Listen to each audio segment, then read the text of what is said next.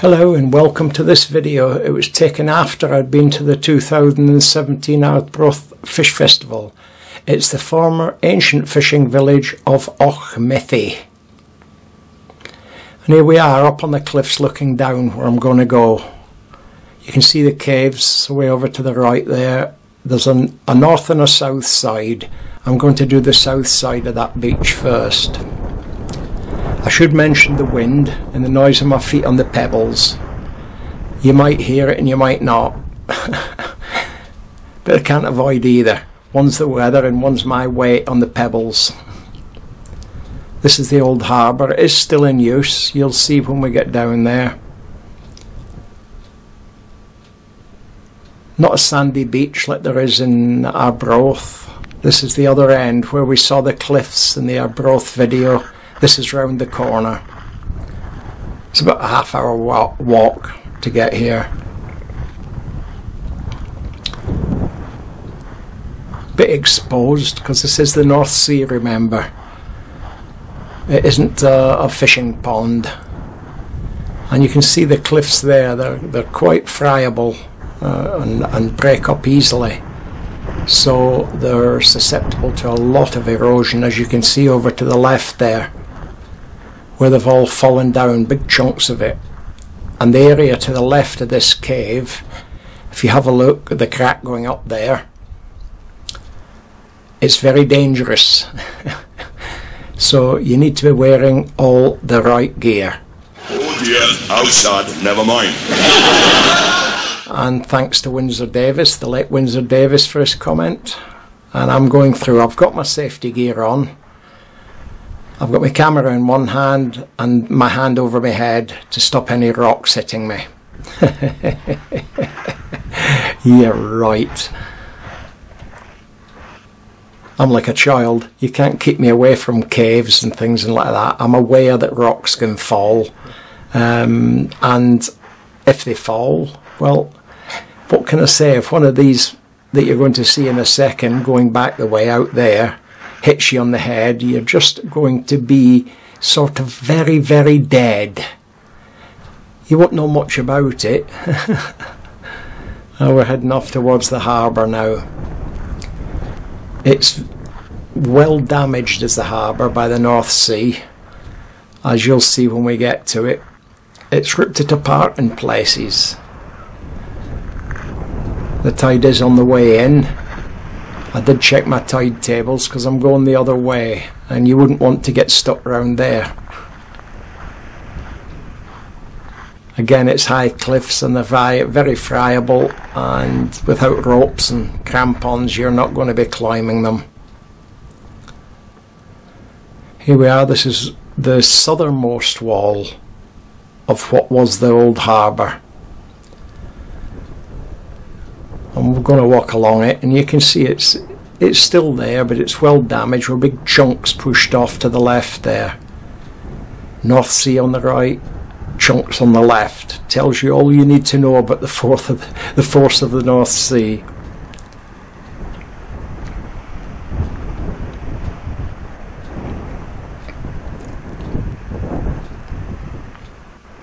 And round that corner there is where we've been our Arbroath and the Seaton Cliffs. And there's the, the what is the inner harbour. You can tell it's used even by the small boats now and again, but only when the tide's in. Probably to offload any fishing catches.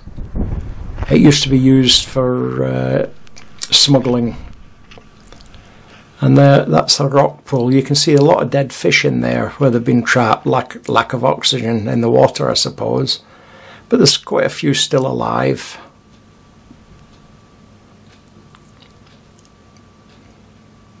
It makes you wonder why some die and some don't. But they'll be like that until we get the tide back in. And then I saw in the sand in front of me when I jumped down off the wall footprints. Can you see? Look, going towards the water. Now You can tell they're not mine. I'm walking with a camera in my hand. And there's no more. Just vanish at the water's edge. There's none coming back the way. I thought that's weird. And there's, you can see there's ladders.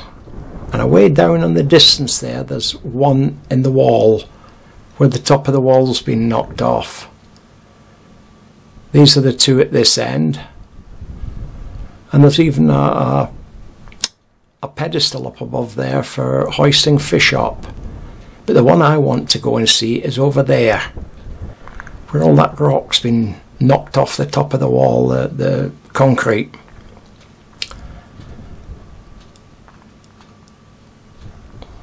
You can just about see it now on the wall. I'm just looking back towards where we've been. And as you can see, the tide's on its way in. And there's my ladder. The bottom three rungs are missing. And I'm a bit of an old guy. But I'm also a bit of an idiot. So just bear with me because I've got my camera in one hand and I'm going to go up this darned ladder with the other and my two feet. there you are, I'm up looking down. I had to cut that bit out because I tossed my camera up on the wall and it went down the other side. That's me. Old guy, thumbs up, yeah. Yes, with a screw loose, yes, obviously.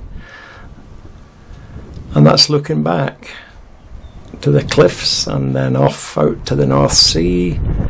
And then we're going along the wall a bit more. And then I've got to climb up and turn left to walk along the rest of the wall. Uh, uh, there we go. And now I'm on the wall. Now you can see it's obviously still used. There's a, a hoist for getting creels up. And that's me looking back again to the harbour mouth and there's the cliffs and the hole in it where we went through. Now there's about a six foot drop, maybe seven or eight, but it's definitely over two metre at the end of this wall, but it's all small pebbles. So guess who's going to do a running jump, complete with a camera in his hand? Go on, guess, guess, go on, guess. Yeah, the silly old guy a screw loose. I've got my cell phone with me, so if I break a leg, I can phone the ambulance. Here we go. Go on. Jump.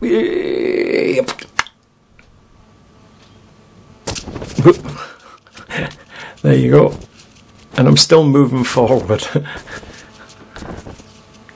And you can see the damage the tide's done here, the, the North Sea. It's a bit unforgiving. And there's an old boat in front of me here. And there's actually a notice in the boat.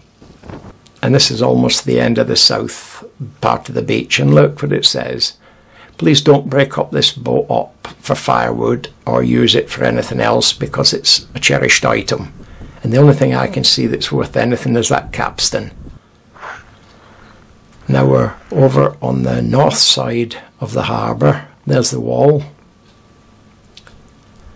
And then this bit I speeded up in editing because it's all pebbly. And there's a stream, a wee river coming from nowhere. It's just there. I don't know why, I can't see where it come from. Bit of flotsam and jetsam one or the other. Looks like old uh, fishing line nets attached to it. And I asked somebody local, is that an old Celtic sign? And he said, nah, it's an old Auchmithie sign, son. So there you go. and I'm making to those cliffs away in the distance. I'm putting my camera down for a minute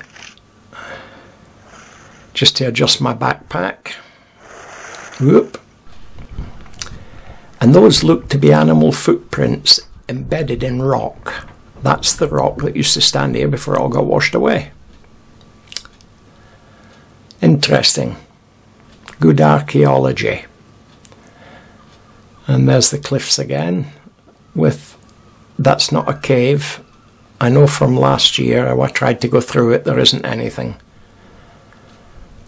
but very interesting rock formations and stonework because it keeps falling down in big chunks. And you'll see this in a minute, where the, the bit on there to the right fell down from the left. And it's a big bit. But as you can see here, there's always bits falling down. Not uncommon.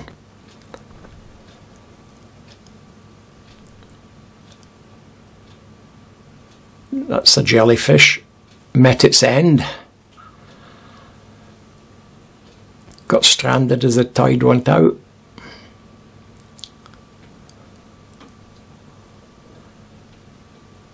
Now, that big rock in front of us, I shall point my finger at it. There.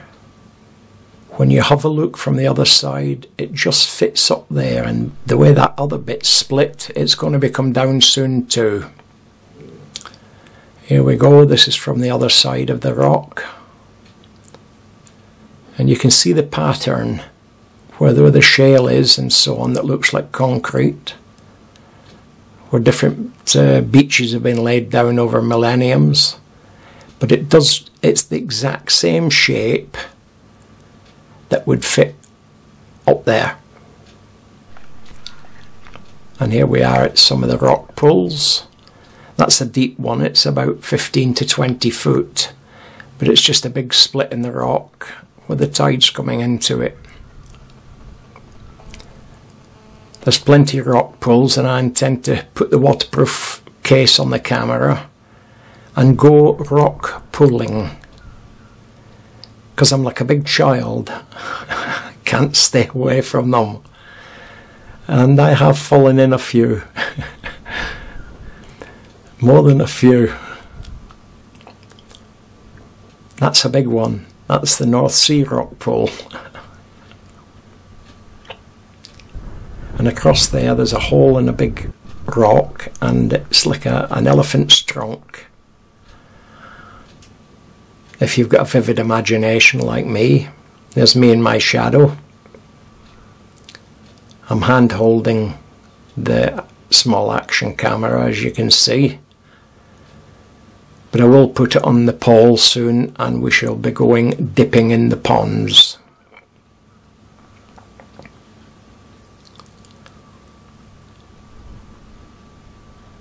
Every time I see my shadow, I feel like singing Me and My Shadow. You know, you probably don't know, not if you're under 80.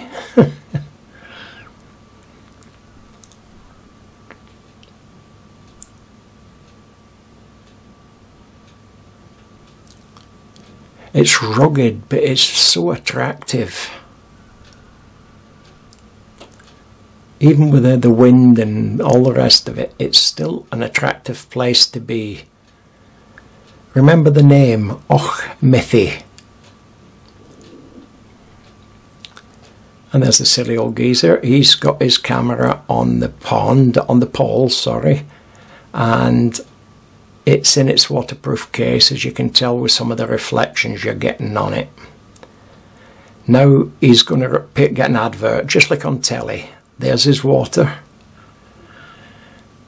He's not advertising any special water, it's just a new bottle of water that he brought with him.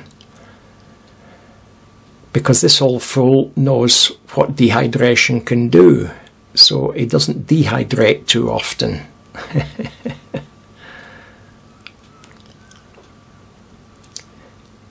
I think I actually say, oh, that was good.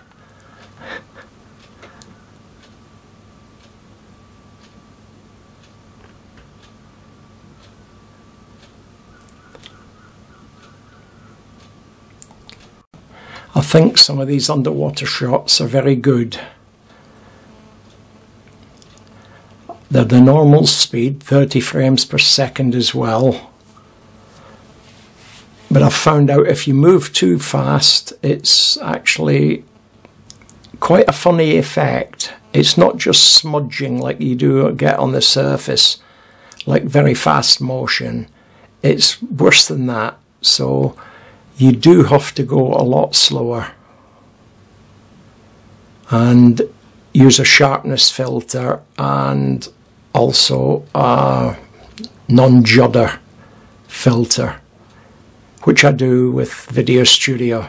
I use um, Mercalli version 2 for the juddering and so on. It does make a visible difference and in 4K you don't lose any of your the sides, your borders stay there almost. And I've done a comparison. As long as you're in 2.7 or 4K then you can get away with it.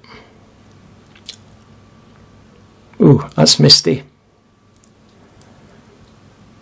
We're very near where the tide's coming in and out, so got disturbed sand probably.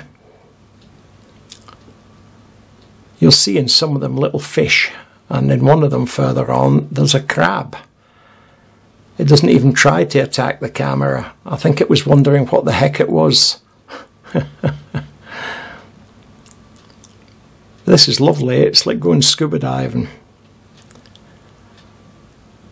and you'll be coming up to the bit where the crab is soon.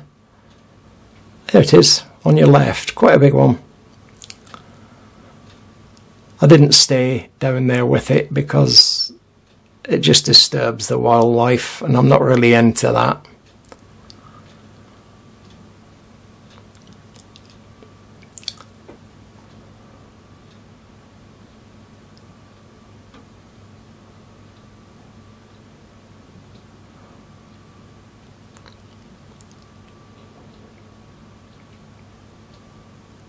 I like that effect where you're half in, half out the water.